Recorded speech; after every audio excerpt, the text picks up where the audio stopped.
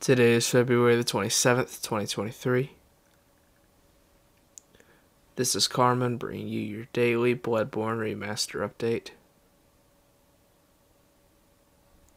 There's no news on a Bloodborne Remaster today, but uh, tomorrow looks like it's Final Fantasy 16 News Day, with uh, looking very likely that previews are dropping tomorrow. Uh, I know Skill Up had said he has a video that's going to be going up at 9 a.m. Uh, my time, so very much looking forward to that. Uh, a lot of things are co- are corroborating it, man. And then they announced that on March 25th, there's going to be a panel with the producer and English localizer Yoshi P and uh, what's his name, Ko- Koshi Fox, something like that. I can't remember his name exactly, but um, yeah, very excited for that. I myself cannot wait to see if it's tomorrow, man. I need I need that uncut FF16 gameplay. If I see uncut gameplay, I will faint.